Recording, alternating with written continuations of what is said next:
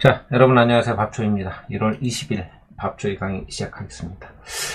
참 시간 빠르죠, 여러분. 벌써 24년도 1월 20일이 가고 있습니다. 예, 오늘 1월 20일인데요.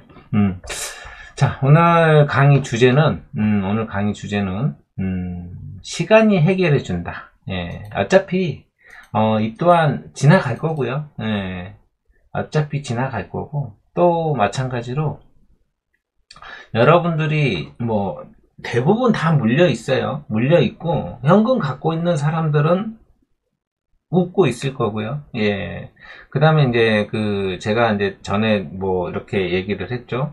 어느 정도는 이제는 자금을 투입해도 된다. 뭐 저도 어 포트폴리오를 그렇게 구성을 이제 끝내놨어요. 이제 끝내놨는데 어, 현금을 좀 일부를 갖고 있다가 이제 좀 매수를 했죠. 물론 이번에 바이오 종목이 바이오 종목 중에 일부 한 종목을 샀는데 어, 올라갈 거라고 예상을 했어요. 올라갈 거라고 예상했는데 금리 인하가 뭐 조금 늦어진다. 근데 어차피 금리 인하는 여러분 금리 인하는 기정사실화가 되어 있어요. 기정사실화가 되어 있고, 어, 그게 3월 달에 할 거냐. 원래는 뭐 3월 달에 막 99%, 막 90% 이상 이렇게 했잖아요. 근데 지금 3월 달 금리 인하가 뭐 한 45% 정도 이렇게까지 떨어졌다. 지난주까지만 해도 77%였어요.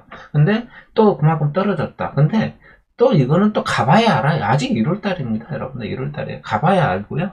3월 달에 뭐 지금 현재로서는 뭐 그렇다. 라고 얘기를 하니까 또 이제 그 뭐 연준 위원들이 뭐 발언도 좀 안 좋게 나오고 뭐 그러다 보니까 이런 상황들이 나타났는데 그러면서 이제 국, 국채 금리가 뭐, 뭐 근데 또뭐 엇갈렸어요. 뭐 10년물이라든지 뭐 이렇게 30년물 뭐 이렇게 2년물 뭐 이런 것들은 10년물과 2년물은 이렇게 어느 정도 상승이 나왔는데 또 30년물은 또 이렇게 하락이 나오고 예, 이런 조금 좀 예, 어, 다르게 나오는 것도 있고 이러다 보니까 근데 결국은 금리는 결국은 내릴 수밖에 없어요, 여러분들. 그, 그렇지만 뭐 팬더믹이 일어나는 나기 전 수준 이하로는 내려가지는 않을 거예요. 내려가지는 않을 건데 결국은 간다. 그 얘기는 뭐냐면 음, 기다리면 돼요. 기다리면. 근데 그거를 못 기다리고 이제 뭐 손절이라든지 뭐 이렇게 하면 어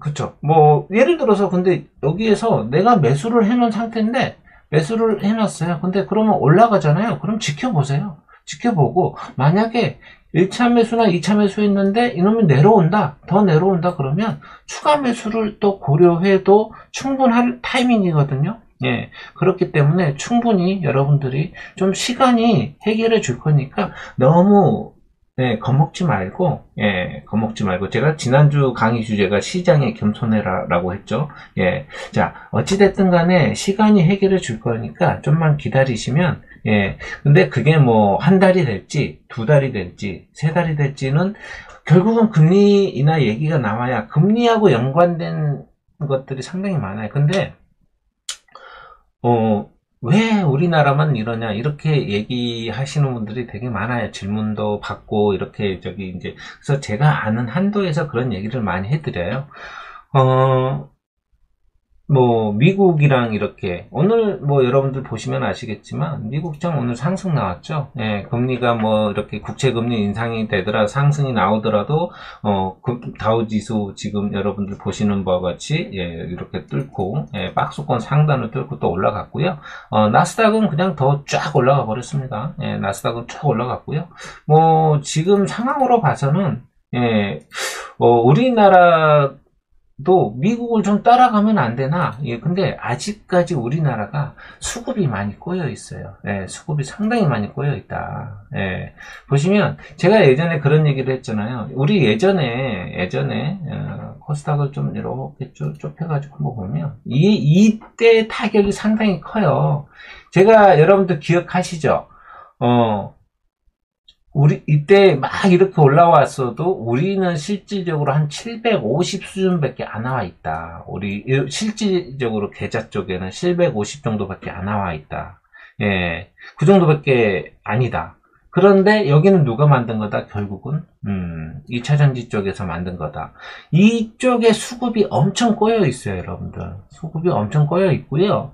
또 뭐 여러분들 뭐 최근에 기관들 매도가 상당히 많이 나왔잖아요. 기관 특히 연기금 쪽에서 자금 확보 차원으로 예, 매도세가 좀 많이 나온 것도 있고 또 외국인이 최근에 또, 또 매도라든지 선물 매도라든지 막 이렇게 예, 나온 것도 제가 저번에 그 선물 매도에 대해서 11월 12월 달에 상당히 많이 많은 어, 매수가 들어와서 이제 매도 포지션이 좀 나와야 된다라고 얘기를 해서 그렇게 그때부터 이렇게 좀 나왔었던 거고요. 또 외국인 자금이 약간 좀 일본 쪽으로 예, 니케이 쪽으로 좀 많이 들어간 거 예. 그래서 그런 얘기들을 많이 해요 예, 엔화가 좀 이렇게 강세가 좀 나와줘야 예, 좀 이렇게 그 나온다라고 얘기를 하고, 예.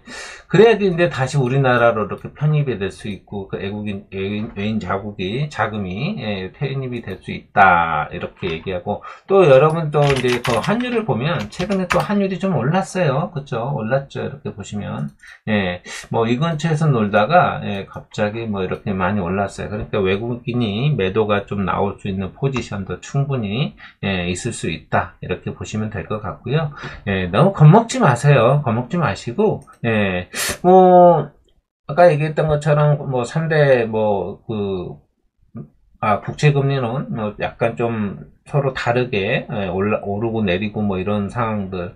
음, 아까 또, 그, 3월 금리 인하 가능성은, 음, 뭐, 47, 47%이 정도로 떨어졌다. 뭐 이렇게 얘기하는데, 지금 뚜껑 열어봐야 돼요, 여러분들. 예, 지금은 뭐라고 얘기할 수 있는 상황보다는 음, 좀 지켜봐야 된다 예, 이렇게 얘기하면 될 것 같고요. 음, 제가 봤을 때는 뭐 연준이 아마 1월달 금리는 아마 동결할 가능성이 많고요. 음, 어, 연준이 이제 그 3월 0.25포인트 금리 인하의 가능성은 예, 일단은 고용 보고서 발 표를 좀 보고 네, 저기 저번에 나, 왔지만 예, 상승했다가 다시 지금 또 떨어진 이유들도 있고 예, 뭐 어차피 얘기했던 것처럼 시간이 해결을 줄 겁니다. 버티세요. 지금은 버티셔야 돼요. 네. 뭐 여러분들이 이거 솔직히 여러분들은 이거 지금 또 이제 뭐 이렇게 하락이 나오고 뭐 이런 것들은 여러분들이 많이 봐서 우리 주식을 오래 하신 분들은 그런 경험들 많이 있잖아요. 옛날에 뭐 이렇게 그뭐 뭐 북한 요즘 또 이제 대, 뭐 대만 쪽에 저번에 대, 대만 총통 그 해가지고 어 중국 쪽이 아닌 어, 미국 쪽 친미 쪽으로 해가지고 총통이 당선되고 나서 약간 좀 그런 불안감도 있지만 뭐 또 대부분 그런 얘기를 또 많이 하잖아요. 뉴스에서 뭐 뭐 핵 관련 얘기 나오고 어찌고 저찌고 이렇게 얘기하잖아요. 여러분들 어, 전쟁 나면요. 전쟁 나잖아요, 만약에. 전쟁 나면 주식 아무 필요 없어요. 현금 아무 필요 없어요.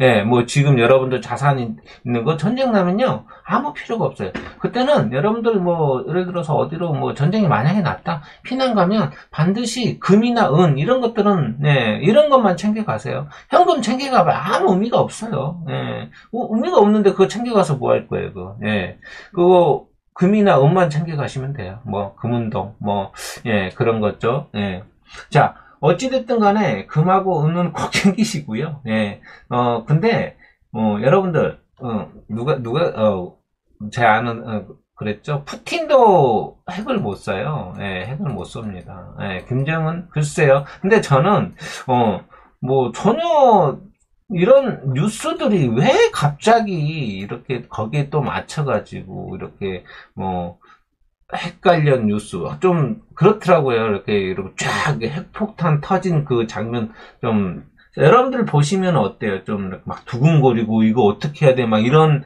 어, 심리가 작용이 되잖아요. 그걸 노리는 거라고 저는 생각을 해요. 여러분들 크게 걱정하지 마시고요.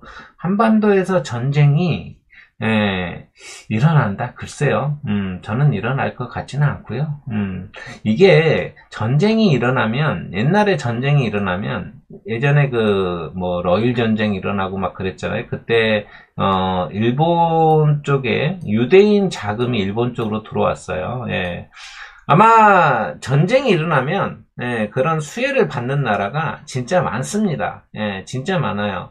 예, 뭐, 미국도 있겠지만, 예, 또 이제 그런 쪽으로. 지금 뭐 러시아, 우크라이나 자금들이 많이 들어갔잖아요. 그러니까 약간 전쟁이, 전쟁이 많이 일어나는 나라는 어디가, 어, 많이 일어나는 나라가, 표현보다 전쟁이 일어나는 곳은 약간 그, 뭐라 그럴까요?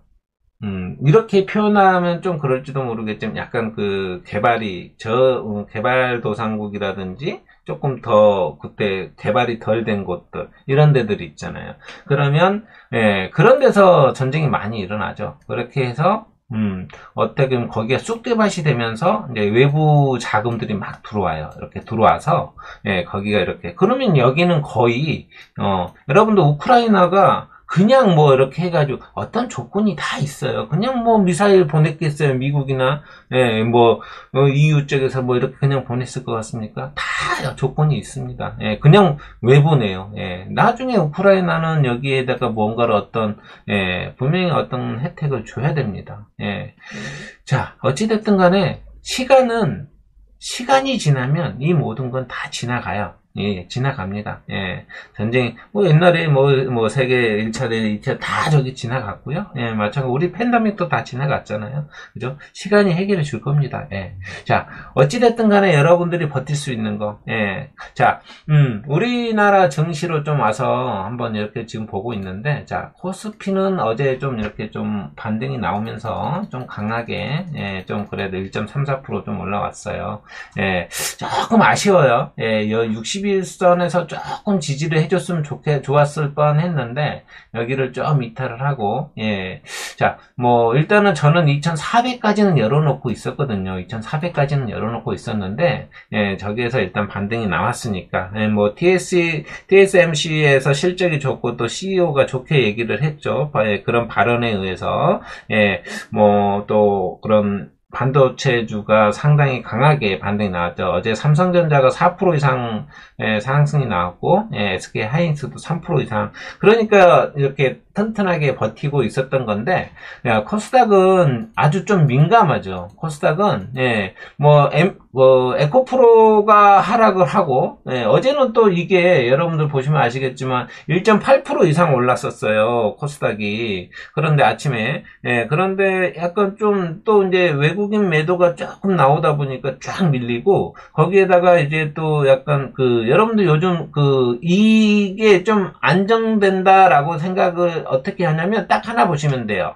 어, 예를 들어서 시장이 좀 불안하잖아요. 어떻게 뭘 보냐면 지금은 대장주가 스페코가 대장주입니다. 이, 이 종목을 보면 돼요. 이 종목을. 이 종목은 근데 아직까지 안 끝났어요. 이 종목이. 예, 흐름이 아직 안 끝났어요. 조금 더 출렁거릴 수 있다는 소리죠. 보시면 이렇게 쫙 올라갔다가 예, 그렇죠. 이때는 여지없이 이때부터 지수가 떨어졌습니다. 지수가 쫙 떨어지고요. 예. 이렇게 여러분들 그러니까 지수가 이렇게 스페코나 빅텍은 조금 약해요. 빅텍은 좀 약한데 예, 이런 전쟁 관련주가 전쟁 관련주가 이렇게 상승이 나오면 그때부터 지수가 좀 약세요. 그러면 여러분들이 뭐 그거는 조금 약간 흐름을 좀 탄다든지 아니면 아까 얘기했죠. 시간이 해결해 준다. 예, 그러면 그렇게 지켜보셔도 전혀 문제되지는 않아요. 예, 자, 어찌됐든 간에 코스피가 이렇게 반드 코스피하고 코스닥이 반등이 나왔어요. 자, 코스닥을 보면, 일봉을 보면 60선에서 지지가 나왔거든요. 60선에 일단, 어, 850을 지지를 해줄 줄 알았는데 또 거기를 또 밀더라고. 결국은, 예, 60선까지, 예, 결국은 뭐 추세는 아직 살아있다. 예, 근데, 어, 지금 아직까지는 어, 이 지수가 지수가 양대 지수 모두 5일선을 안착을 못했습니다. 아, 안착이 조금 더 이런 식으로 이런 구간처럼 안착이 중요해요. 이렇게 5일선을 올라타야 된다. 네, 그래야 좀 이렇게 상승의 여력이 충분히 더 강한데 아직까지는 불안한 면이 좀 있다. 그러니까 이, 얘기, 이 얘기는 뭐냐면 약간 그 지수 양대 지수가 좀 바닥을 어느 정도는 다져줘야 예. 뭐, 여기에서 이렇게 올라갔다가 쌍바닥을 내주면 더 좋겠죠. 그쵸? 그런 모습이 좋, 좋긴 하겠지만, 뭐, 그게 나올지 안 나올지는 모르겠지만, 만약에 그렇게 나온다면 조금 더 상승에 대한, 예. 요즘 테마가 약간 뭐, 그렇죠? 예전에, 예전부터 그랬어요. 2차 전지 쫙, 2차 전지만 올라가고, 그죠? 뭐, 뭐, AI만, AI가 올라갈 때는 AI만 올라가고, 너무, 그런 나머지 섹터는 소외가 돼가지고, 이게 참 좀, 그쵸? 음. 자, 지금 시장이 현재로선 그러니까 일단은 어느 정도 2차 전지 쪽에서 아까도 얘기했지만 이쪽 부분에서 수급이 아직까지 요즘 여러분도 그런 기관들도 요즘 뭐 그런 LS 머트리얼즈라든지 뭐 에코프로 머티 예, 이런 종목 쪽에 상당히 많이 매수가 들어갔다. 이런 쪽이 그러니까 어, 수급이 꼬일 수밖에 없어요. 아직까지 이거 살아있잖아요. 에코프로머티는 더 살아있죠. 예, 더 살아있죠. 예. 에코프로머티는 아직까지 추세가 더 살아있단 말이에요. 예, 그렇기 때문에, 예, 이게 지금 수급이 아직까지 여기서 조금만 내려와도 그냥 또 지수는 또 내려올 수 있어요. 예. 이 정도 어느 정도 꼬여 있는 수급만 좀 해소가 되면은 반도체 중심으로 상당히 저는 좋아질 수 있다. 예, 그렇다면 추가 조정도 예, 어느 정도는 해소가 되지 않겠냐. 저는 그런 생각을 해보거든요. 예. 자, 어찌됐든 간에, 음, 음, 일단은 금요일 날 시장이 반등이 좀 나왔어요. 나와서 조금은 그래도 안정, 어, 좀 반등이 나와서 좋긴 한데, 아직까지는 좀 불안하다. 예. 현금 있는 분들이라면, 아까 얘기했죠. 제가, 어, 추가 하락하면 더 추가 매수 하셔도 돼요. 예. 상승하면 지켜보세요. 예, 지켜보시고, 예를 들어서 이 정도 수준에서 한번 좀 정리를 해도, 예, 괜찮다. 예, 뭐, 뭐 더 끌고 가도 된다. 어, 왜냐면 수급만 어느 정도 꼬여 있는 게 해결이 되면 근데 이 수급이 꼬인 게 여러분들 이제 예전에 이제 약간 또 요즘 더 그러죠. 왜, 왜 그러냐면 돈이 한쪽으로 몰리니까 이게 그 어, 신규 상장이 400% 이렇게 저기 바뀌면서 예, 바뀌면서 이쪽으로 돈들이 많이 몰리니까 예전에 막 그랬죠. 예, 그때 예, 그때 뭐, 뭐 LG 에너지 솔루션도 그렇고 뭐 이런 종목들이 막 이렇게 그, 때부터뭐 수급이 이렇게 돈들이 많이 한쪽으로 모이다 보니까 좀 그런 것들이 없지 않아 있어요. 예. 네, 여러분들 너무 걱정하지 마세요. 음. 저는 올해 그러니까 그런 얘기를 하고 싶어요. 뭐 AI가 저번에 한번 반등이 나오긴 했어요. 근데 AI는 이제 시작이에요, 여러분들. 어, 이제 시작입니다. 자, 이거를 좀 한번 생각해 보세요. 어떤 산업에서 어떤 산업에서 뭔가가 이제 시작할 때 그 어느 정도 있다가 그때부터 이렇게 슈팅이 나오기 에코프로도 그렇잖아요. 에코프로도 뭐 처음부터 이렇게 반등이 쫙 나왔습니까? 에코프로도 자 에코프로 볼게요. 에코프로도 처음부터 쫙 올라간 거 아니잖아요. 그렇죠? 예, 이렇게 한번 숨 고르기 하고 올라갔다가 숨 고르기 하고 그때부터 이렇게 올라왔죠. 그러니까 저는 이 AI 쪽이 AI 쪽이 저번에 한번 이렇게 쭉 반등이 나왔죠. 그 다음에 이렇게 그 다음에 이제 이 구간이 한번 분명히 있을 거라고 저는 생각을 해요. 예, 뭐 여기에서 뭐 이렇게까지 올라올지 어쩔지는 모르겠지만 예, 이 구간이 한번 나올 거다. 그래서 저는 여러분들한테 올해 AI 쪽 예, 이게 왜냐면 물론 실적하고도 중요하지만 예, 어, 어떤 시장성 뭐 이때 당시에 에코프로가 뭐 이제 올라갈 때는 이제 에코프로가 이제 어떤 실적하고 많이 반영이 됐었죠. 이때까지는 뭐 에코프로에 대해서 이제 전기차가 막 시작하고 있었던 단계거든요. 예. 자 어찌 됐든 간에 저는 AI 쪽 로봇 그다음에 메타버스 반도체는 꼭 있어야 되고요. 예, 그 다음에 바이오까지. 올해는 여러분들 이렇게 좀 어느 정도 포트폴리오를 짜면 어떻겠느냐. 다시 한번 얘기하면 AI, 로봇, 그 다음에 메타버스, 바이오, 예, 반도체. 뭐 이 정도는 꼭 있으면 좋겠다. 라고 저는 생각. 그 중에서 여러분들이 잘 갈 거, 좋, 좋아, 좋을 것 같은 거, 예, 골라서 한 두세 개만 해도, 예, 저는, 어, 로봇주가 지금 어제 이스트 소프트가 예, 상한가 갔죠. AI 쪽 해가지고 마이크로소프트 관련해 가지고 AI 쪽 어, 이러 경고가 들어왔고요. 어, 제 이제 그 폴라리스 오피스가 이제 좀 이렇게 시간의 상승이 좀 나오고 이 종목이 이렇게 좀 어, 2등주로 한 번 더 반등이 나올 거고 그러면 AI 쪽이 이제 어느 정도 끝나면 네, 어느 정도 주도주로 이게 아마 계속 섹터가 순환매가 일어날 거예요. 일어날 건데 어, 그러면 이제 저는 이제 로봇 쪽도 예, 충분히 예, 아직 로봇 뭐 크게 뭐 이렇게 이슈화가 되고 네, 근데 지금 계속 로봇 쪽 얘기가 들려오고 있어요. 들려오고 있기 때문에 예, 바이오는 조금 더 있어야 되겠죠. 아까 금리 인상 인하 얘기가 조금 이제 어느 정도 가시화가 되면 그때부터 좀 이렇게 나올 것 같고요. 반도체는 예, 뭐 여러분들 아시겠지만 삼성전자 뭐 내, 올, 이제 작년보다는 올해가 더 좋아질 거라고 다 알고 있잖아요. 이번에 또 이제 그 갤럭시 S24가 어, 저기 이제 그 사전 판매가 들어갔죠. 예, 출시가 27일인가 28일인가요? 예, 어, 그때부터 이제 여러분들 리뷰를 잘 살펴 살펴봐야 돼요. 어떤 리뷰? 지금 그 뭐죠? 풀, 아 플리토, 플리토 맞나요? 플리토.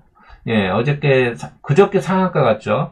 이게 그 AI 쪽 뭐 번역 어쩌고 좀뭐 이렇게 들어갔다라고 해가지고 이렇게 삼성전자 쪽에 뭐 해가지고 이렇게, 예, 그 들어간 것 같은데, 예, 상한가가 나오고 연속적으로 이렇게 나온 것 같은데, 어, 이제는 리뷰를 잘 보셔야 돼요, 리뷰를. 예, 어떤 후기가 어떻게 나오는지, 이런 것들. 근데 분명히 어떻게 안 좋은 것도 나올 수 있을 거고요. 그게 좋은지 안 좋은지. 근데 뭐 번역기 그런 AI로 해가지고 약간 근데 뭐 저기, 어, 약간 좀 잘못 번역해가지고 뭐 이런 것도 나오긴 하더라고요. 예, 뭐 100%가 어디 있겠습니까? 예. 자, 뭐 여러분들이 이런 쪽으로 좀 지켜보시면, 예, 나쁘진 않을 거예요. 분명히 저는 보면 예, 어, 약간 그 주도주 성격을 꼭 가지고 가는 어, 제가 지금 이제 그 저도 이제 로봇 쪽에 좀 이렇게 그 포트폴리오를 구성을 해놓고, 예, 근데 뭐 실적이 어느 정도 있는 종목을 가지고 가니까, 예, 나쁘진 않아요. 예, 실적이 없는 종목, 뭐, 뭐 그런 종목은 조금 불안하죠. 예, 어차피 어차피 여러분들이 이쪽에 어느 정도 주도주 성격을 끌고 있는 거를 가지고 가야 수익이 많이 극대화가 되거든요. 예, 그런 쪽으로 좀 지켜보셨으면 좋겠다. 예, 이렇게 저는 생각을 합니다. 뭐, 지금, 뭐, 지난주도 마찬가지지, 지금도 마찬가지, 낙폭 가됩니다. 낙폭 가되니까, 네, 여러분들이 예, 분할 매수로 접근하면 충분히 예, 좋을 수 있겠다. 예, 저는 음. 자, 뭐 25일 날, 어, 24일 날은 미국 그 AT&T 실적 발표가 있고요. 어, 25일 날은 예, 어, 다음 주 목요일이죠. 어, 인텔라고 인텔 실적 발표 있고 우리나라 삼성 SD하고 SDS하고 LG 이노텍이 실적 발표가 있습니다. 다음날 26일 날은 뭐 미국 그 12월 잠정 주택 판매 지수가 있고요. 음, 그다음에 개인 소비 지출 지표 PC가 발표가 될 거예요. 뭐 30일 날은 뭐 다 다다음 주죠. 어, 마이크로소프트, 알파벳, 화이자, GM 뭐 이런 그러니까 이제 어, 실적들이 나오면 예, 어, 뭐 어닝이 될지 뭐 어떻게 될지 뭐 지켜봐야 알겠지만 어, 대부분 실적은 좋았어요. 여러분들 아시겠지만 기업들은 큰 기업들은 돈 잘 벌었어요. 요즘 우리나라 뭐 저기 뭐 음, 대형건설, 뭐 신세계건설에도 뭐 부채가 400, 뭐 500%뭐 이렇게 뭐 어쩐다라고 얘기하면서 어저께 어 신세계 그룹에서 어 신세계건설에 2천억을 뭐 긴급 지원하고 뭐 그런 뉴스들을 보셔서 알 거예요. 이 우리나라는 물론 건설 뭐 예전에 또 뭐 그렇게 뭐 무너진 뭐 대우그룹도 무너지고 뭐 그렇게 했지만은 뭐 쉽게 어 건설은 우리나라에 어떻게 보면은 그런 산업의 뭐 요즘은 반도체지만 그래도 건설이에요, 건설. 쉽게 어떻게 보면 왜냐면 태양 건설에 대해서 어떻게 뭔 얘기가 나왔죠. 워크아웃 저기 하긴 했지만 예. 어 아마 쉽게 총선까지는 약간 예 총선까지는 예 일단은 그 총선 이유가 조금 불안하긴 해요. 예 지금 뭐 지켜봐야 될 것 같고요. 일단은 예 여러분들 뭐 크게 너무 안심 뭐 걱정하지 마시고요. 예 어차피 더 좋아지면 더 좋아졌지 나빠지지는 않을 겁니다. 예 자, 뭐, 여러분들이 항상 주식은 어떤 원칙대로 좀 하시면 좋을 것 같고요. 예, 기본과 원칙 꼭 지켜가지고 하시고. 자, 제가 뭐, 이 얘기는 좀 하나 해드리고 싶어요. 제가 어느, 어느 날, 어, 텔, 그 텔레그램을 좀 들어갔거든요. 어떤 텔레그램을 한번 들어가 봤어요. 이게 어떻게 이루어지나. 근데, 어떤 텔레그램에서, 어, 한, 거기에 들어와 있는 사람이, 어우, 만 명이 넘더라고요. 예. 그 방에 들어와 있는 사람이 1만 명이 넘어요. 근데 어, 여기에 어, 그러더니 어떤 이제 뭐 실질적으로 이제 뭐라 할까 매니저가 아니라 이제 그 뭐라고 해야죠? 그러니까 대장 대장이 있어요. 이 사람이 종목을 딱 줘요. 근데 이게 웃기게 이게 지금 이 회사로 사람들이 입금했다라는 이런 그 금액들이거든요. 여기 말고도 그 밑에도 있어요. 여기도 여기도 이렇게 있죠. 이거는 일부예요. 제가 일부만 캡처를 해놓은 건데 네, 이 돈을 이렇게 보내요. 뭐 2억, 3억도 보내고 물론 근데 여러분들 이런 거는 이렇게 보내고 막 수익률이 어찌근데 이거는 바람잡이일 수도 있어요. 바람잡이일 수도 있습니다. 예, 근데 뭐 실질적으로 막 조금씩 막 돈 천만 원씩 보는 사람들이 있잖아요. 막 뭐 천오백만 원, 이천만 원. 근데 그 사람들은 진짜일 것 같더라고요. 근데 이렇게 해가지고 회사로 돈을 보내는 돈을 왜 보내는지 모르겠어. 근데 이거를 충전 포인트로 준대요. 충전 포인트로. 어, 그래가지고 그걸로 매매를 해요. 그걸로. 그걸로 매매해서 수익이 난대요. 모르겠어요. 시스템이 어, 시스템인지 어쩐지는 모르겠는데 그러더니 예, 제가 그 방에 5일인가 이렇게 계속 꾸준히 관찰을 했거든요. 예, 아마 들어간 지는 좀 있었어요. 근데 어느 날 방이 없어졌어요. 네. 방이 없어졌어요. 아마 몰라요. 어, 요즘은 금감원에서 사이버 경찰 해가지고 여기에 다 들어와 있다, 여러분들. 다 들어와 있어요. 웬만한데. 예, 큰 데들은 다 들어와 있어요. 예. 그래서 없어졌는지 어쨌는지 모르겠지만 여러분들 믿지 마세요. 절대 믿지 마세요. 아니 그냥 그럴 거면 돈 종목을 알려주면 되지. 보, 종목을 알려주면 되지. 뭐 돈을 통장으로 보내. 보내서 포인트를 받아가지고 뭐, 어, 뭐, 아우, 말은 정말 화려하더라고요. 어?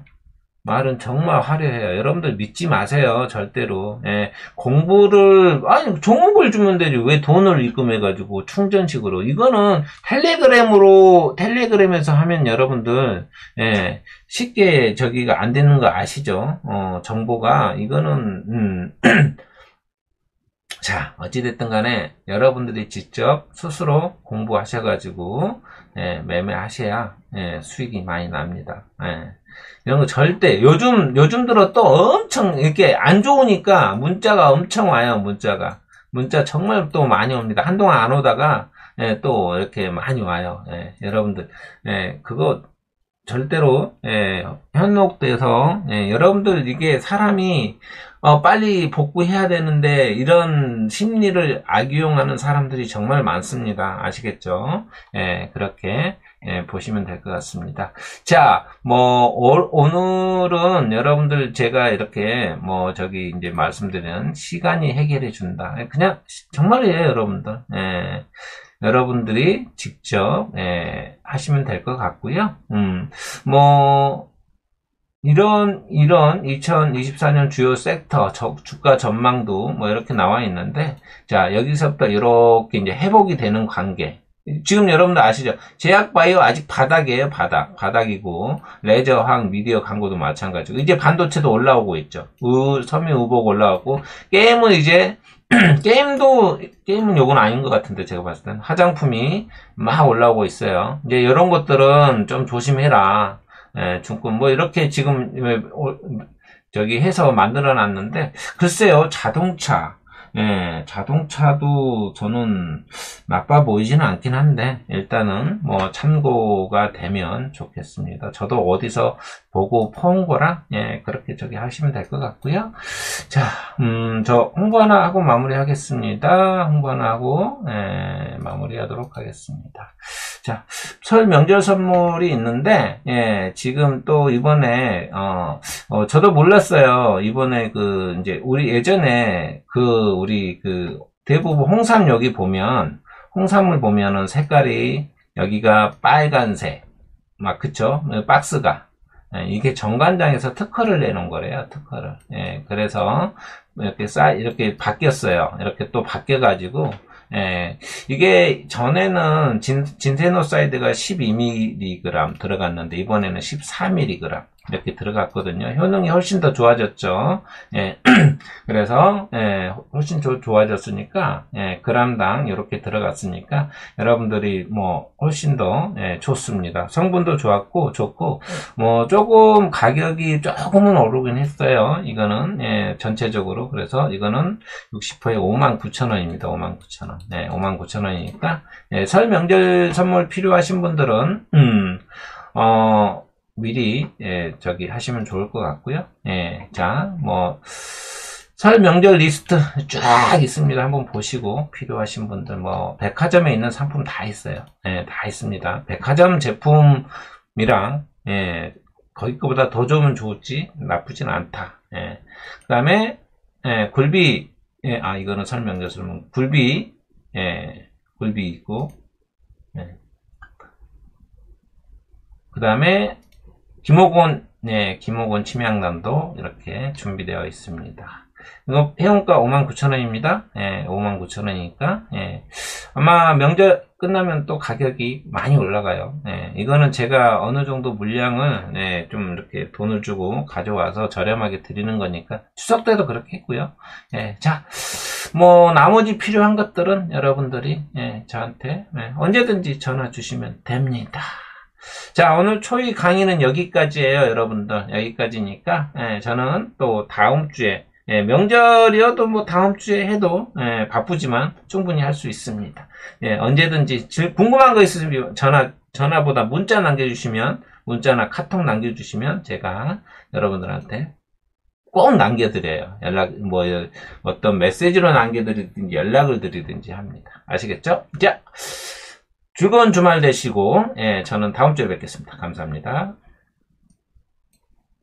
자, 고생하셨고요. 음, 진짜로 여러분들 제가 이거 봤어요. 대박이대. 와, 어떻게, 근데 제가 봤을 때 이렇게 막 돈을 막 1억, 3억 보내는 거는 그래 놓고 막 이래. 수익률이, 아, 내가 그것도 캡처를 했었는데, 수익률이 막 8, 막 8, 어, 예를 들어서 3억을 했어요. 3억을. 근데 29%야. 뭐 3, 거의 막 29% 30% 수익이 나 있어. 3억 했으니까 거의 8천만 원 돈 되지. 넘지. 그죠? 어, 그렇게 꼬시더라고. 어, 엄청 꼬시더라고요. 어.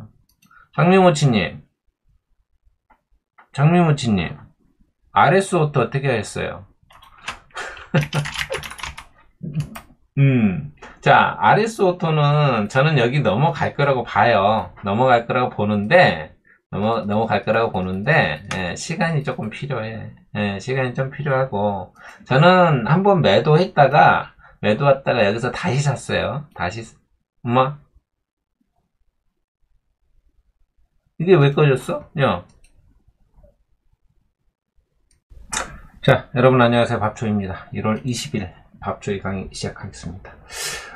참 시간 빠르죠, 여러분. 벌써 24년도 1월 20일이 가고 있습니다. 예, 오늘 1월 20일인데요.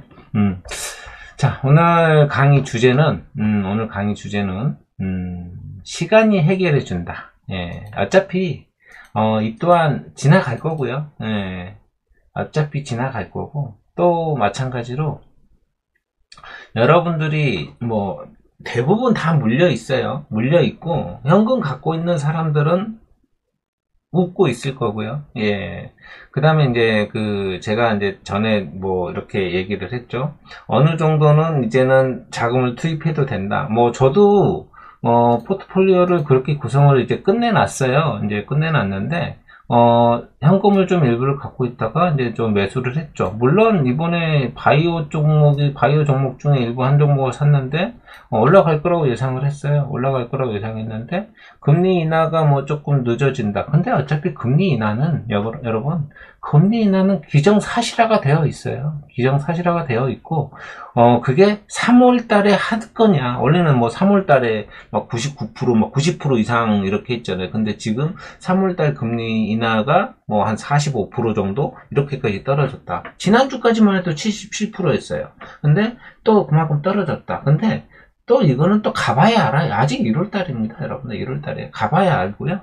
3월 달에 뭐 지금 현재로서는 뭐 그렇다. 라고 얘기를 하니까 또 이제 그 뭐 연준 의원들이 뭐 발언도 좀 안 좋게 나오고 뭐 그러다 보니까 이런 상황들이 나타났는데 그러면서 이제 국, 국채 금리가 뭐, 시, 뭐 근데 또뭐 엇갈렸어요. 뭐 10년물이라든지 뭐 이렇게 30년물 뭐 이렇게 2년물 뭐 이런 것들은 10년물과 2년물은 이렇게 어느 정도 상승이 나왔는데 또 30년물은 또 이렇게 하락이 나오고 예, 이런 조금 좀 예, 어, 다르게 나오는 것도 있고 이러다 보니까 근데 결국은 금리는 결국은 내릴 수밖에 없어요 여러분들. 그, 그렇지만 뭐 팬더믹이 일어나는 나기 전 수준 이하로는 내려가지는 않을 거예요. 내려가지는 않을 건데 결국은 간다. 그 얘기는 뭐냐면 음, 기다리면 돼요. 기다리면. 근데 그거를 못 기다리고 이제 뭐 손절이라든지 뭐 이렇게 하면 어 그쵸. 뭐, 예를 들어서, 근데 여기에서 내가 매수를 해놓은 상태인데, 매수를 해놨어요. 근데 그러면 올라가잖아요. 그럼 지켜보세요. 지켜보고, 만약에 1차 매수나 2차 매수 했는데, 이놈이 내려온다. 더 내려온다. 그러면, 추가 매수를 또 고려해도 충분할 타이밍이거든요. 예. 그렇기 때문에 충분히 여러분들이 좀 시간이 해결해 줄 거니까 너무 네, 겁먹지 말고, 예, 겁먹지 말고. 제가 지난주 강의 주제가 시장에 겸손해라라고 했죠. 예. 자, 어찌됐든 간에 시간이 해결해 줄 거니까 좀만 기다리시면, 예. 근데 그게 뭐, 한 달이 될지, 두 달이 될지, 세 달이 될지는 결국은 금리 인하 얘기가 나와야 금리하고 연관된 것들이 상당히 많아요. 근데, 어, 왜 우리나라만 이러냐 이렇게 얘기하시는 분들이 되게 많아요. 질문도 받고 이렇게 저기 이제 그래서 제가 아는 한도에서 그런 얘기를 많이 해드려요. 어, 뭐 미국이랑 이렇게 오늘 뭐 여러분들 보시면 아시겠지만 미국 장 오늘 상승 나왔죠. 예, 금리가 뭐 이렇게 국채 금리 인상이 되더라 상승이 나오더라도 어 다우지수 지금 여러분들 보시는 바와 같이 예, 이렇게 뚫고 예, 박스권 상단을 뚫고 또 올라갔고요. 어, 나스닥은 그냥 더 쫙 올라가 버렸습니다. 예, 나스닥은 쫙 올라갔고요. 뭐 지금 상황으로 봐서는 예, 어, 우리나라 또 미국을 좀 따라가면 안 되나? 예, 근데 아직까지 우리나라가 수급이 많이 꼬여 있어요. 예, 수급이 상당히 많이 꼬여 있다. 예, 보시면 제가 예전에 그런 얘기를 했잖아요. 우리 예전에 예전에 어, 코스닥을 좀 이렇게 쭉 좁혀가지고 한번 보면 이 이때 타격이 상당히 커요. 제가 여러분들 기억하시죠? 어, 우리 이때 막 이렇게 올라왔어도 우리는 실질적으로 한 750 수준밖에 안 나와 있다. 우리 실질적으로 계좌 쪽에는 750 정도밖에 안 나와 있다. 예, 그 정도밖에 아니다. 그런데 여기는 누가 만든 거다? 결국은 음, 2차전지 쪽에서 만든 거다. 이쪽에 수급이 엄청 꼬여 있어요, 여러분들. 수급이 엄청 꼬여 있고요. 또 뭐 여러분들 뭐 최근에 기관들 매도가 상당히 많이 나왔잖아요. 기관 연, 특히 연기금 쪽에서 자금 확보 차원으로 네, 매도세가 좀 많이 나온 것도 있고 또 외국인이 최근에 또, 또 매도라든지 선물 매도라든지 뭐 이렇게 예, 나온 것도 제가 저번에 그 선물 매도에 대해서 11월 12월 달에 상당히 많이 많은 어, 매수가 들어와서 이제 매도 포지션이 좀 나와야 된다라고 얘기를 해서 그렇게 그때부터 이렇게 좀 나왔었던 거고요. 또 외국인 자금이 약간 좀 일본 쪽으로 예, 니케이 쪽으로 좀 많이 들어간 거 예. 그래서 그런 얘기들을 많이 해요 예, 엔화가 좀 이렇게 강세가 좀 나와줘야 예, 좀 이렇게 그 나온다라고 얘기를 하고, 예. 그래야지 이제 다시 우리나라로 이렇게 편입이 될 수 있고, 그 외국인, 외인, 외인 자국이, 자금이, 예, 편입이 될 수 있다. 이렇게 얘기하고, 또 여러분 또 이제 그 환율을 보면, 최근에 또 환율이 좀 올랐어요. 그쵸? 올랐죠. 이렇게 보시면. 예. 뭐 이 근처에서 놀다가, 예, 갑자기 뭐 이렇게 많이 올랐어요. 그러니까 외국인이 매도가 좀 나올 수 있는 포지션도 충분히, 예, 있을 수 있다. 이렇게 보시면 될 것 같고요. 예, 너무 겁먹지 마세요. 겁먹지 마시고, 예, 뭐, 아까 얘기했던 것처럼, 뭐, 3대, 뭐, 그, 아, 국채금리는 뭐 약간 좀 서로 다르게 예, 올라, 오르고 내리고 뭐 이런 상황들. 음, 아까 또 그 3월 금리 인하 가능성은 음, 뭐 47, 47%이 정도로 떨어졌다. 뭐 이렇게 얘기하는데 지금 뚜껑 열어봐야 돼요, 여러분들. 예, 지금은 뭐라고 얘기할 수 있는 상황보다는 음, 좀 지켜봐야 된다 예, 이렇게 얘기하면 될 것 같고요. 음, 제가 봤을 때는 뭐 연준이 아마 1월달 금리는 아마 동결할 가능성이 많고요. 음, 어, 연준이 이제 그 3월 0.25포인트 금리 인하의 가능성은 예, 일단은 고용 보고서 발 표를 좀 보고 네, 저기 저번에 나, 왔지만 예, 상승했다가 다시 지금 또 떨어진 이유들도 있고 예, 뭐 어차피 얘기했던 것처럼 시간이 해결을 줄 겁니다. 버티세요. 지금은 버티셔야 돼요. 네. 뭐 여러분들이 이거 솔직히 여러분들은 이거 지금 또 이제 뭐 이렇게 하락이 나오고 뭐 이런 것들은 여러분들이 많이 봐서 우리 주식을 오래 하신 분들은 그런 경험들 많이 있잖아요. 옛날에 뭐 이렇게 그뭐 뭐 북한 요즘 또 이제 대, 뭐 대만 쪽 에 저번에 대, 대만 총통 그 해가지고 어 중국 쪽이 아닌 어, 미국 쪽 친미 쪽으로 해가지고 총통이 당선되고 나서 약간 좀 그런 불안감도 있지만 뭐 또 대부분 그런 얘기를 또 많이 하잖아요. 뉴스에서 뭐 뭐 핵 관련 얘기 나오고 어찌고 저찌고 이렇게 얘기하잖아요. 여러분들 어, 전쟁 나면요. 전쟁 나잖아요, 만약에. 전쟁 나면 주식 아무 필요 없어요. 현금 아무 필요 없어요. 예, 뭐 지금 여러분들 자산이 있는 거 전쟁 나면요 아무 필요가 없어요. 그때는 여러분들 뭐 예를 들어서 어디로 뭐 전쟁이 만약에 났다 피난 가면 반드시 금이나 은 이런 것들은 예, 이런 것만 챙겨 가세요. 현금 챙겨 가면 아무 의미가 없어요. 예, 뭐 의미가 없는데 그거 챙겨 가서 뭐 할 거예요, 그거. 예, 그거 금이나 은만 챙겨 가시면 돼요. 뭐 금운동, 뭐 예, 그런 것죠. 예. 자, 어찌됐든 간에 금하고 은은 꼭 챙기시고요. 예. 어, 근데, 어, 여러분들, 어, 누가, 누가, 어, 제 아는, 어, 그랬죠. 푸틴도 핵을 못 쏴요. 예, 핵을 못 쏩니다. 예, 김정은, 글쎄요. 근데 저는, 어, 뭐, 전혀, 이런 뉴스들이 왜 갑자기 이렇게 거기에 또 맞춰가지고, 이렇게, 뭐, 핵 관련 뉴스 좀 그렇더라고요. 이렇게 이렇게 쫙 핵폭탄 터진 그 장면 좀 여러분들 보시면 어때요? 좀 막 두근거리고 이거 어떻게 해야 돼? 막 이런 어, 심리가 작용이 되잖아요. 그걸 노리는 거라고 저는 생각을 해요. 여러분들 크게 걱정하지 마시고요. 한반도에서 전쟁이 예, 일어난다? 글쎄요. 음, 저는 일어날 것 같지는 않고요. 음, 이게 전쟁이 일어나면, 옛날에 전쟁이 일어나면, 예전에 그, 뭐, 러일 전쟁 일어나고 막 그랬잖아요. 그때, 어, 일본 쪽에 유대인 자금이 일본 쪽으로 들어왔어요. 예. 아마 전쟁이 일어나면, 예, 그런 수혜를 받는 나라가 진짜 많습니다. 예, 진짜 많아요. 예, 뭐, 미국도 있겠지만, 예, 또 이제 그런 쪽으로. 지금 뭐 러시아, 우크라이나 자금들이 많이 들어갔잖아요. 그러니까 약간 전쟁이, 전쟁이 많이 일어나는 나라는 어디가, 어, 많이 일어나는 나라가, 표현보다 전쟁이 일어나는 곳은 약간 그, 뭐라 그럴까요? 음, 이렇게 표현하면 좀 그럴지도 모르겠지만 약간 그 개발이, 저, 어, 개발도상국이라든지 조금 더 그때 개발이 덜 된 곳들 이런 데들이 있잖아요.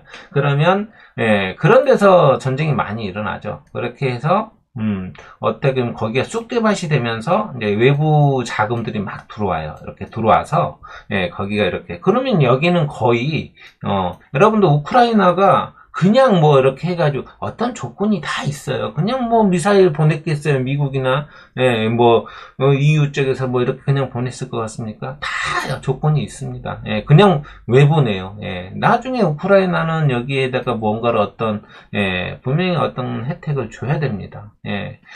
자, 어찌됐든 간에 시간은 시간이 지나면 이 모든 건 다 지나가요. 예, 지나갑니다. 예, 전쟁, 뭐 옛날에 뭐, 뭐 세계 1차, 대 2차 다 저기 지나갔고요. 예, 마찬가지로 우리 팬데믹도 다 지나갔잖아요. 그죠? 시간이 해결해 줄 겁니다. 예. 자, 어찌됐든 간에 여러분들이 버틸 수 있는 거. 예. 자, 음, 우리나라 증시로 좀 와서 한번 이렇게 지금 보고 있는데, 자, 코스피는 어제 좀 이렇게 좀 반등이 나오면서 좀 강하게, 예, 좀 그래도 1.34%좀 올라왔어요. 예, 조금 아쉬워요. 예, 60 21선에서 조금 지지를 해줬으면 좋게, 좋았을 뻔 했는데, 여기를 좀 이탈을 하고, 예. 자, 뭐, 일단은 저는 2400까지는 열어놓고 있었거든요. 2400까지는 열어놓고 있었는데, 예, 저기에서 일단 반등이 나왔으니까, 예, 뭐, TS, TSMC에서 실적이 좋고 또 CEO가 좋게 얘기를 했죠. 예, 그런 발언에 의해서, 예, 뭐, 또, 그런, 반도체주가 상당히 강하게 반등이 나왔죠. 어제 삼성전자가 4% 이상 상승이 나왔고 예, SK 하이닉스도 3% 이상. 그러니까 이렇게 튼튼하게 버티고 있었던 건데 야, 코스닥은 아주 좀 민감하죠. 코스닥은 예, 뭐, M, 뭐 에코프로가 하락을 하고 예, 어제는 또 이게 여러분들 보시면 아시겠지만 1.8% 이상 올랐었어요. 코스닥이. 그런데 아침에 예, 그런데 약간 좀 또 이제 외국인 매도가 조금 나오다 보니까 쫙 밀리고 거기에다가 이제 또 약간 그 여러분들 요즘 그 이게 좀 안정된다라고 생각을 어떻게 하냐면 딱 하나 보시면 돼요. 어, 예를 들어서 시장이 좀 불안하잖아요. 어떻게 뭘 보냐면 지금은 대장주가 스페코가 대장주입니다. 이, 이 종목을 보면 돼요. 이 종목을. 이 종목은 근데 아직까지 안 끝났어요. 이 종목이. 예, 흐름이 아직 안 끝났어요. 조금 더 출렁거릴 수 있다는 소리죠. 보시면 이렇게 쫙 올라갔다가 예, 그렇죠. 이때는 여지없이 이때부터 지수가 떨어졌습니다. 지수가 쫙 떨어지고요. 예.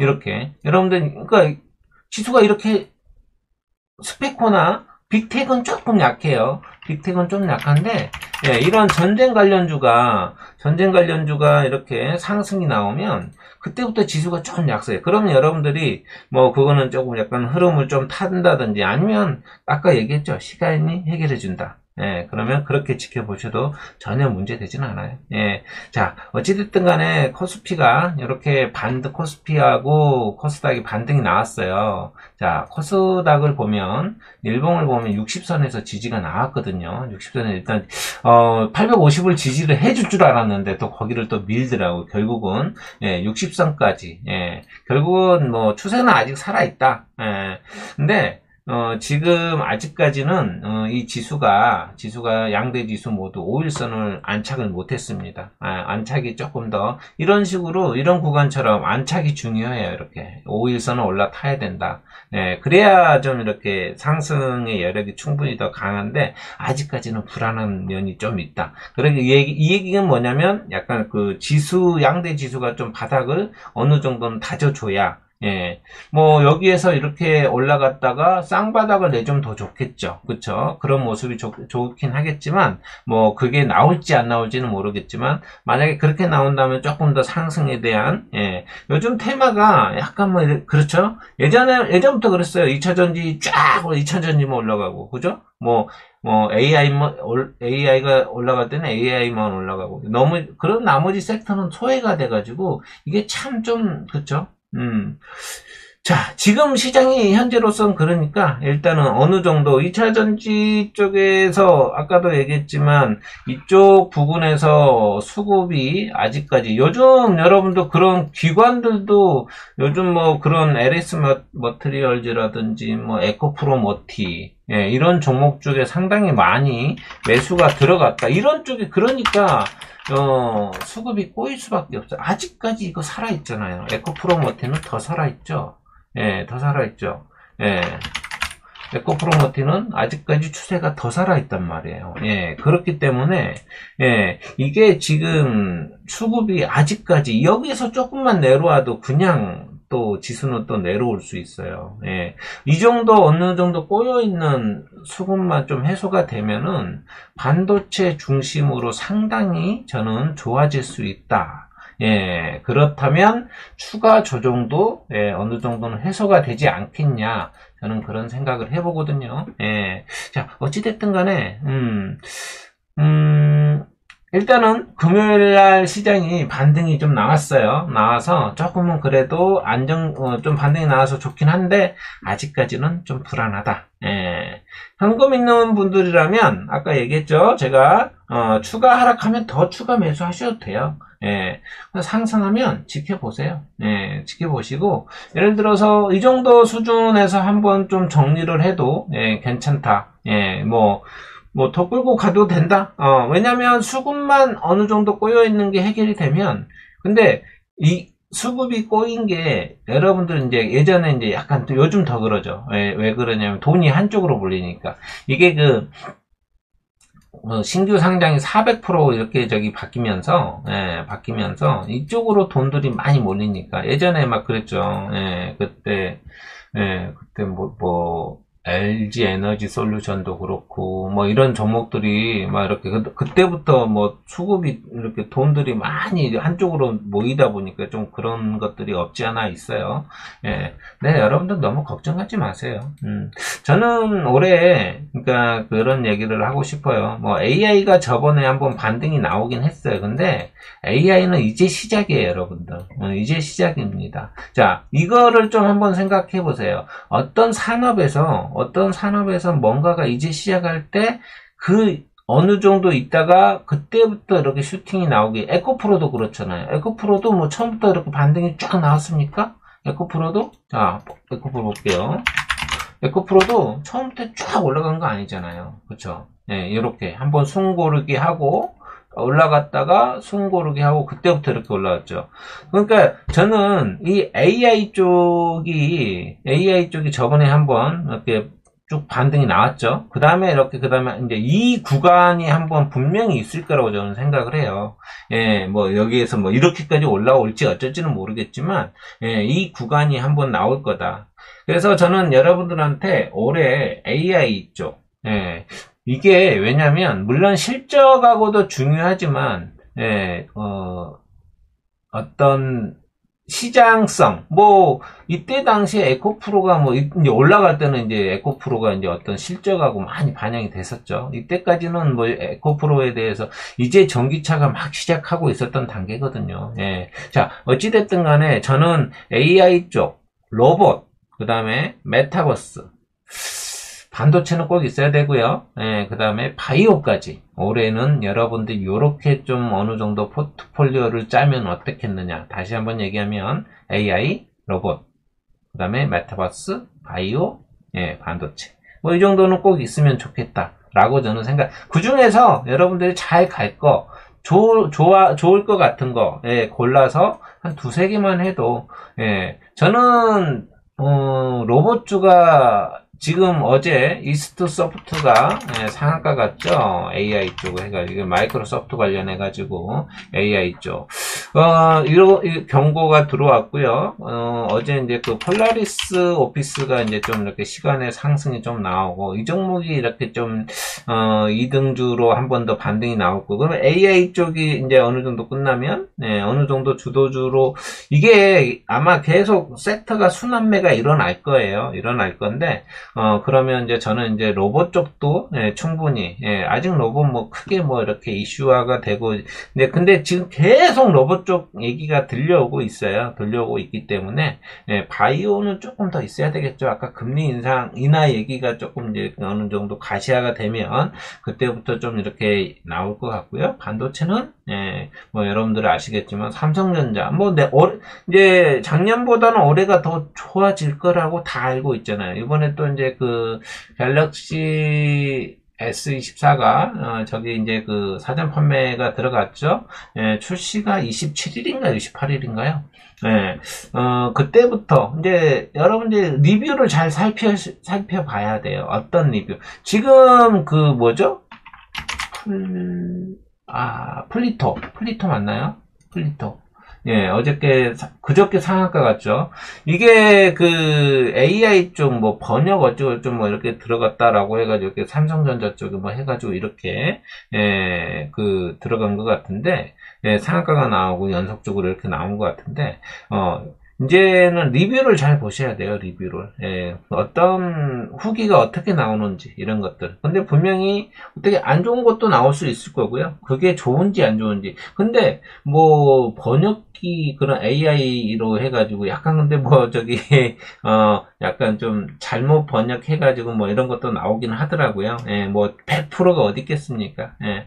자, 뭐, 여러분들이 이런 쪽으로 좀 지켜보시면, 예, 나쁘진 않을 거예요. 분명히 저는 예, 어, 약간 그 주도주 성격을 꼭 가지고 가는 어, 제가 지금 이제 그 저도 이제 로봇 쪽에 좀 이렇게 그 포트폴리오를 구성을 해놓고, 예, 근데 뭐 실적이 어느 정도 있는 종목을 가지고 가니까, 예, 나쁘진 않아요. 예, 실적이 없는 종목, 뭐, 뭐 그런 종목은 조금 불안하죠. 예, 어차피 어차피 여러분들이 이쪽에 어느 정도 주도주 성격을 끌고 있는 거를 가지고 가야 수익이 많이 극대화가 되거든요. 예, 그런 쪽으로 좀 지켜보셨으면 좋겠다. 예, 이렇게 저는 생각을 합니다. 뭐, 지금, 뭐, 지난주도 마찬가지지, 지금도 마찬가지, 낙폭 가됩니다. 낙폭 가되니까, 네, 여러분들이 예, 분할 매수로 접근하면 충분히 예, 좋을 수 있겠다. 예, 저는 음.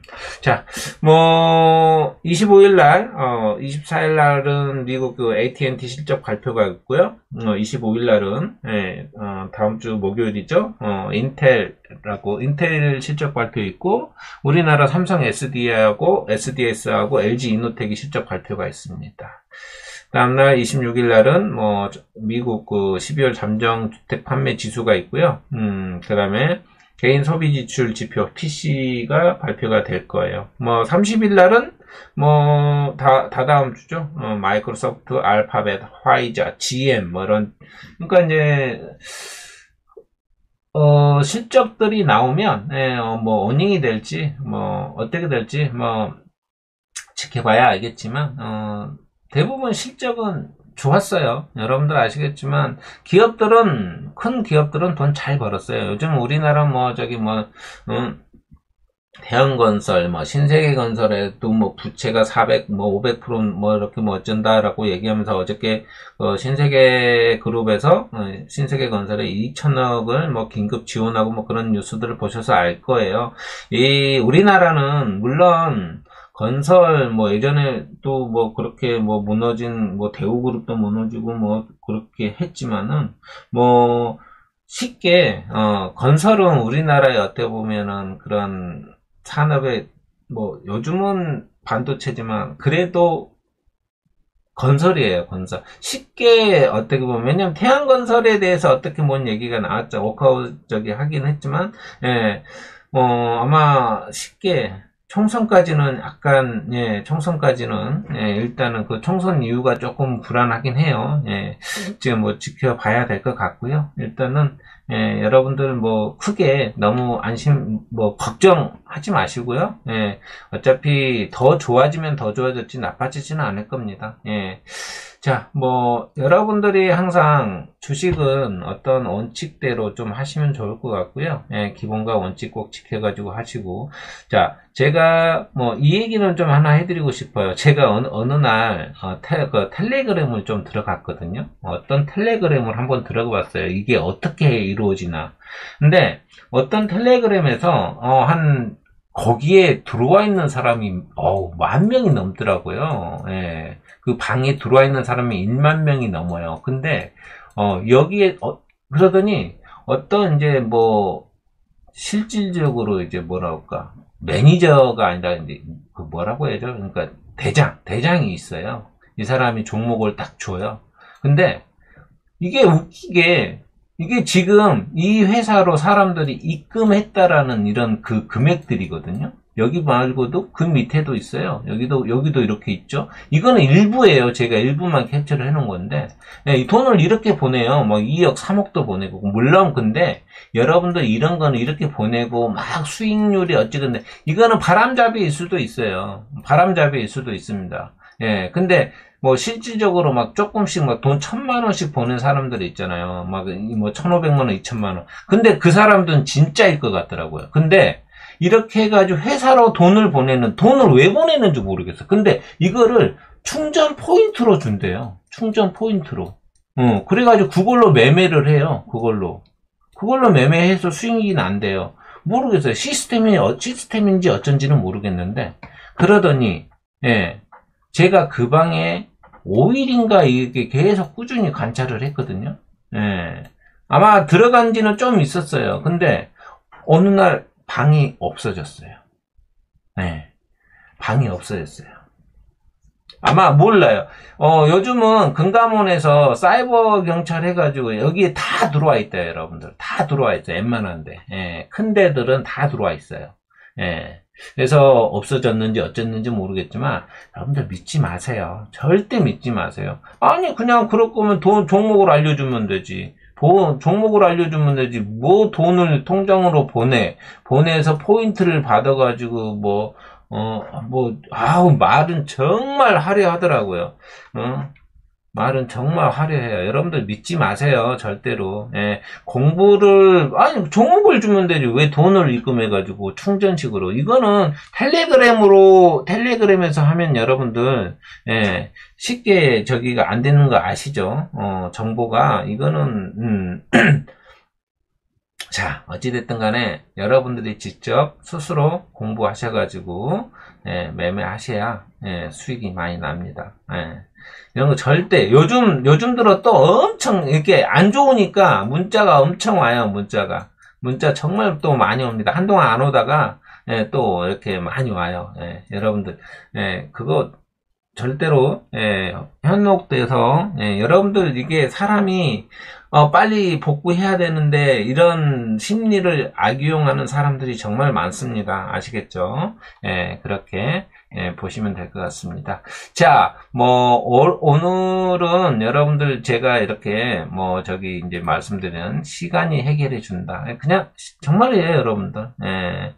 여러분들이 직접 예, 하시면 될 것 같고요. 음, 뭐 이런 이런 2024년 주요 섹터 주가 전망도 뭐 이렇게 나와 있는데 자 여기서부터 이렇게 이제 회복이 되는 관계 지금 여러분들 아시죠? 제약바이오 아직 바닥이에요, 바닥. 바닥이고, 레저항, 미디어 광고도 마찬가지고, 이제 반도체도 올라오고 있죠. 우, 섬유 우복 올라오고, 게임은 이제, 게임도, 게임은 요건 아닌 것 같은데, 제가 봤을 땐. 화장품이 막 올라오고 있어요. 이제 이런 것들은 좀 조심해라.